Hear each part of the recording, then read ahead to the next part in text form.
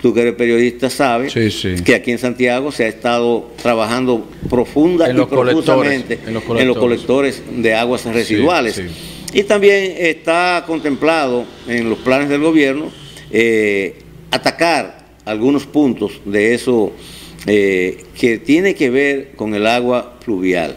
Ese es un tema que generalmente es de los ayuntamientos, no es del gobierno central, pero sabemos que como eh, nuestro país y las ciudades se han ido construyendo sin mucha planificación, el, el problema es muy grande, es un problema grave. Aquí nosotros, por ejemplo, tenemos en Villa María un problema eh, de no acabarse. Sí, sí. Pero ya ese caso se está estudiando y yo tengo la información de primera mano de que eh, ese proyecto de resolver las aguas pluviales, la acumulación de aguas pluviales ahí en Villa María, está a punto de subirse en una licitación para darle solución. Qué Pero bueno. también el presidente está pendiente de todas esas cosas.